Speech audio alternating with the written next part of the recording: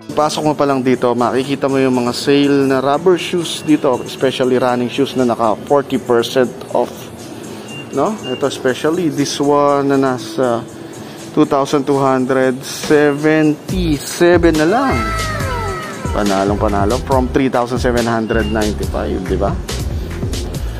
Oy, oy, oy, spotted the new arrival ng KT7, no? Napakaganda ng colorway nito. The waves, no? Astig to, ha? Panalo. And another one na bago dito, no? Bago sa paningin ko. Itong Clay Thompson series basketball shoes na distrap siya, pero pwede mo siyang i-remove, oh. Yan, mga new arrival. Ang aangas nito, lalo na ngayon, syempre, Clay Thompson, pasok in Golden State Warriors sa playoffs. And another one, a new arrival dito sa GH3. Ganda, oh. translucent outsole na syempre.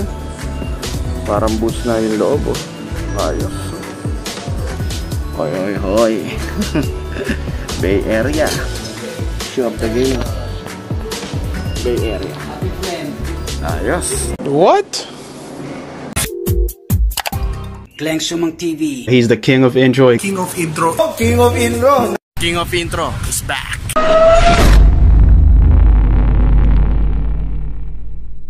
Yo, what's up YouTube? What's up mga tol? King of Intro is back. Andito tayo ngayon sa Anta Sports SM Aura, no? Ngayon, eh, meron silang sale na up to 40% off at syempre papakita natin yung mga latest release ng mga colorway ng KT7 at Gordon Hayward, no? Excited na ba kayo mga idol, no? Pero bago ang lahat, kung napadaan ka lang sa ating channel, make sure na mapipindot mo yung subscribe button na nandyan. Hit mo na rin yung bell notification para every time na may video tayo, mapapanood mo, tol, no? And sa mga gustong umorder ng Travis Scott, yan, hype shirt, no? Meron pa tayo, ayan. Nagpa-flash lang sa inyong screen at syempre yung ating contact ah, business number, yan, nandyan lang. Pag gusto nyo umorder, kontakin nyo lang ako mga idol. So ano pag ginagawa natin? Tara, check na natin to. Let's do this.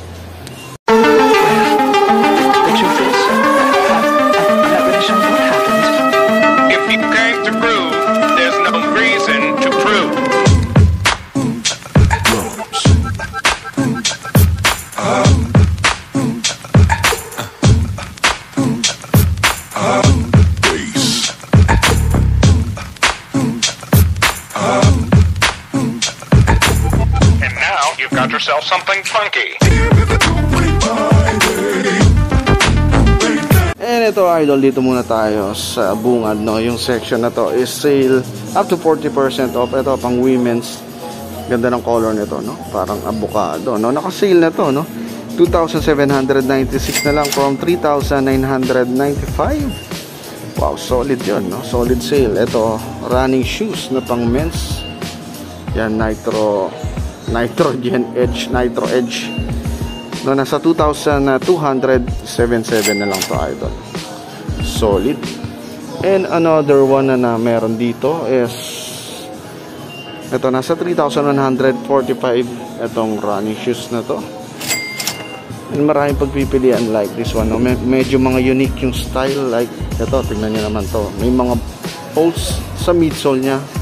Mid part, ito almost triple black. 2,550 na lang from 4,295. Wow, panalong panalo idol. Ito, pang women's again. Ganda ng colorway, oh. Patok na patok. 3,865 from uh, 4,295. Ito, kung mahilig ka naman sa medyo may pagka-neon, light neon, na running shoes. Sa 2,796 na lang siya from 3,995 idol. No? And another running shoes. Oh. Ito, ang ganda nito. Ah.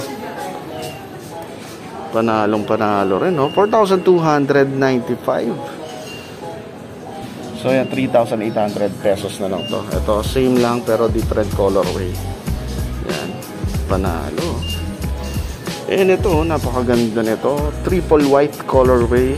Nasa 2,796 na lang from 3,495. Oh, parang easy ang dating nito, idol. And another running shoes na nasa 2,796 lang. Yan, nakasale na to.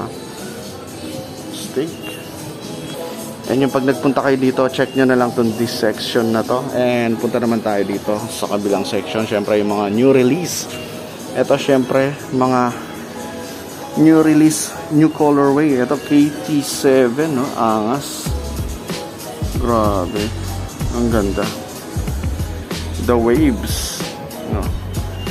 White combination of light blue, midsole, light blue din carbon fiber na nasa loob no? Uh, syempre nitro edge.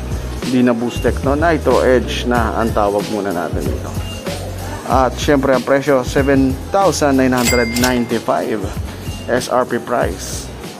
And isa sa mga new release na maganda dito no? Bukod sa pwede mo tanggalin yung strap niya at napakaganda ng colorway design niya yan no silhouette materials panalong panalo And meron siya ditong protective plate oh, nasa gitna. Midsole at syempre dito sa part na to is signature ni Clay. Ito no, series basketball shoes na Clay Thompson na nasa 5,295 lang yan. Very affordable price para sa isang uh, series basketball shoes. Napakaangas nito, oh. 'Di ba? Stig, oh. And another new colorway na nakita natin dito sa KT7 lineup. Itong KT7 low. Light blue na canvas. Parang sa Yeezy na to. Waves, no? At ang presyo nito ay 6,995. Same pa rin, syempre, medyo low lang to. Low version. Mayroong carbon fiber na nandyan. At nitro edge na nandito rin yan, di ba? Solid yan, no? Napanlaro ko na yung mga ganitong technology talagang ang angas lang, tol. Magiging shooter ka. Siyempre yung mga unang nilabas pa rin na colorway, yung mga OG colorway like this one, ito. Hindi to parang white, no? Medyo may pagka off-white yung dating niya. Ang ganda kasi ng materials na naka, nandito. No, speed fiber, tawag dyan, idol. At almost Ayan, nakikita nyo naman, meron siyang touch of neon green dito. And sa loob, napakakapal na namang foaming system niyan. And dito sa may pull tab niya, I don't know kung ano yung mga, ito, mga Chinese character na nasa likod. And syempre, ito, meron pa rin siyang carbon lodi na nandyan. Nitrogen edge sa mid part. Translucent outsole pa rin. Yan. 7,995 for this one. Siyempre, dito sa tongue part, yung Clay Thompson na hologram. And ito yung version ni Rocco. Rocco. Ganda rin ito. Yan, oh. Nakikita nyo yung canvas niya. Oh, footprint ng aso ni Clay. Ang angas din ng colorway. Orange. Uh, sa kanyang insole banda And ito may medyo may pagka beige or tama or mocha. Yan. Nakikita niyo naman, no? Yan, ganda. Panalo rin 'to. Ah. Grabe yung mga basketball shoes na ni Klay Thompson, no? Pamporma ang dating. Same price pa rin, uh, SRP 7,995. Wala pa rin sale dito sa KT7 kasi halos bago pa lahat to, no? And another colorway ni Rocco. Yan, papakita muna natin. Ito. Yan. Parang gray ones naman to.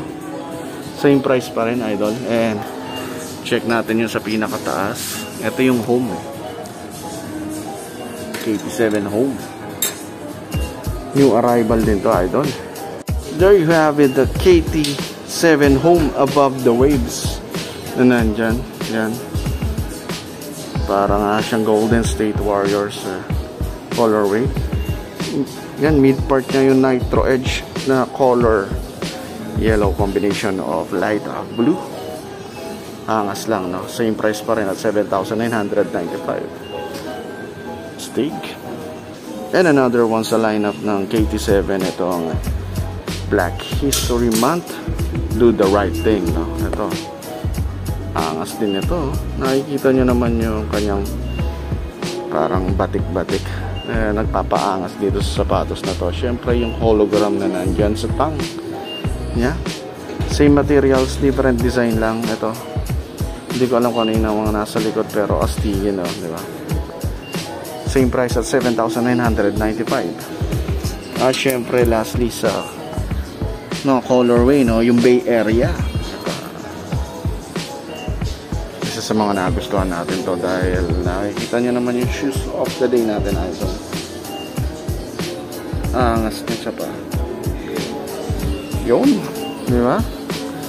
Detail na detail, do. Check out nyo naman, idol. Angas. Stig. Di ba? Panalo.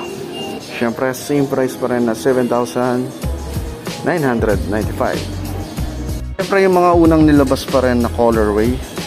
Yung mga OG colorway like this one, ito. Hindi to parang white, no? Medyo may pagka off-white yung dating niya. Ang ganda kasi ng materials na naka, nandito. No, speed fiber, tawag dyan, idol. Ah, at almost, ayan, nakikita nyo naman, meron siyang touch of neon green dito. And sa loob, napakakapal na namang foaming system niyan. And dito sa may pull tab niya, I don't know kung ano yung mga, ito, mga Chinese character na nasa likod. And syempre, ito, meron pa rin siyang carbon lodi na nandyan. Nitrogen edge sa mid part. Translucent outsole pa rin. Yan. 7,995 for this one. Syempre, dito sa tongue part, yung Clay Thompson na hologram. And ito yung version ni Rocco. Rocco. Ganda rin nito. Yan, oh. Nakikita nyo yung canvas niya. Oh, footprint ng aso ni Clay. Ang angas din ng colorway. Orange. Uh, sa kanyang insole banda. And ito may, medyo may pagka beige or tama may, or mocha. Yan. Nakikita nyo naman, no? Yan, ganda. Panalo rin to. ah. Grabe yung mga basketball shoes na ni Clay Thompson, no? Pamporma ang dating. Same price pa rin, uh, SRP 7,995. Wala pa rin sale dito sa KT7 kasi halos bago pa lahat to, no? And another colorway ni Rocco. Yan, papakita muna natin. Ito. Yan. Parang gray ones naman to. Same price pa rin, idol. And check natin yung sa pinakataas. Ito yung home. eh. KT7 home. New arrival din to, idol. Kung naghanap ka naman ng affordable basketball shoes, ito meron tayong Crazy Tide dito na naka-sale. Yan, sale niya. SRP 3,995 pero 2,796 na lang to. Crazy Tide. Ganda ng colorway niya, no? Angas ng outsole, may pagkakamo. And sa mga hindi pa nakakabili ng KT6, ito meron tayong gold black colorway. At syempre, gumsole na yung kanyang outsole from 6,700 uh, 6,995 6,295 na lang siya and isa rin sa mga nandito na nakasale na rin is yung low version ng KT6 low ayan o 6 God na nasa 5,395 na lang. From 5,995 10% off. And another colorway ayan angas din. 5,395 ito idol bagong release lang. Ito Shock the Game na camo. Syempre SRP price 4,795 yung mga camo version no, ng Anta basketball shoes. And this one meron pa ulit meron magkaiba yan ha? Ayan, no? ito mas mababa ng konti. 3,995 and punta naman tayo dito. Idol sa new release na colorway ng GH3 ito ang ganda na ito almost triple white pero meron lang siya dito. Yung mga strap laces nya yan, na nagpa-hype sa shoes. SRP price is 5,995 at yung, yung color beige angas din no same ang presyo and another one black gray silver combination GH3 astig ah. And another one, a triple black. A GH3.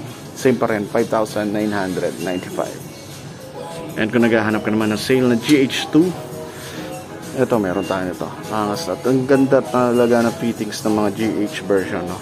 Ito, 5,395 na lang, 10% off from 5,995. 5,3 na lang siya ngayon.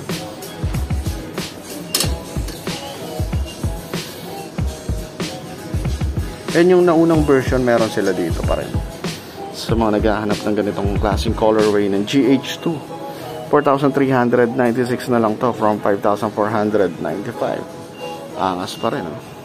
Mapapansin mo sa wall na to is mga new release, new arrival lahat to. So, SRP price pero ang angas naman talaga. 4,795 for this uh, running shoes na gel type na. Oh. Napakalupit na kanyang midsole idol.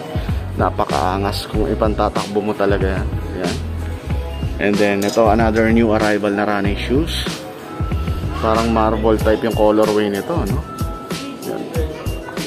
3,495 naman for this one.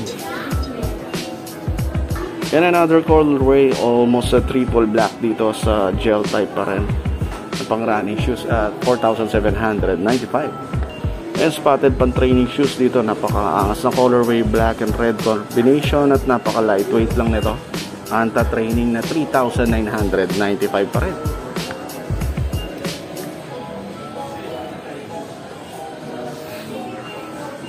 Hoy, hoy, hoy, spotted. O, parang easy dating nito, idol. Ito, 3,995. New arrival, napaka lightweight, ha. And sa ganitong version naman ng lifestyle sneakers, so 4,795. Grabe ang kapal ng midsole. And another one na nandito, 3,795 naman. Yung ganitong klaseng version ng walking shoes naman to. Anta-walking and for ladies a new arrival na nandito is ito grabe. Ang ah, technology nito oh. lightweight lang. At 3,495 new another new arrival na nandito. At uh, 3,795 for this one. Sa inyo iba hindi ko na madidiscuss sa inyo. Napakarami kasi dito uh, walking training running shoes punta na lang kayo dito sa SM Aura Anta Sports. Ayan no? And dito sa mga apparels nila ayan. Sale up to 40% off. Yan yung ganitong klase ng Anta from uh, 1,495 1,196 na lang. Ayan no? So check out nyo na lang mga idol. Yan dami pagpipilian sa kanilang apparel ito, angas din, no? Hmm, di ba? For this one is 2,166 na lang. Windbreaker. Yun. Maraming salamat, Jay. Ayan, no? Isa sa mga nag-assist sa akin. Ayan. At syempre, nandito si Idol Mark. Thank you, Idol Mark. At syempre, si Ma'am. Hindi ka makakaligtas, Ma'am.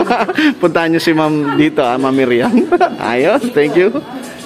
So there you have it mga tol. Ayan, pinakita ko sa inyo kung anong meron dito sa Anta Sports. SM Aura ngayon yung mga nakasale up to 40% off sneakers and apparel. At syempre yung mga latest release ng uh, KT7 at saka yung Gordon Hayward na GH3 mga idol. Punta lang kayo dito and hanapin nyo si Ma'am Miriam na nandun. No? And again, maraming salamat sa patuloy na suporta all the way to 38k subscribers na tayo mga idol. At syempre, Maraming salamat pa rin sa mga tumatangkilik at bumibili ng mga ating mga jersey at yung mga hype streetwears na like this Travis Scott. Kita-kit sa susunod na video kaya kung hindi ka pa isa sa mga utol ko, pindutin mo na yung nakikita mong subscribe button na nandyan. Hit mo na rin yung bell notification para every time na may video tayo mapapanood mo. Video natin ngayon, another big sale na naman dito ng Anta Sports. SMR. Plus like kung magugusto mo yung video natin hanggang dito na lang. The King of Intro. Sign out. Peace mga tol. Good vibes. God bless. Don't forget to follow me sa lahat ng aking social media account. Peace out.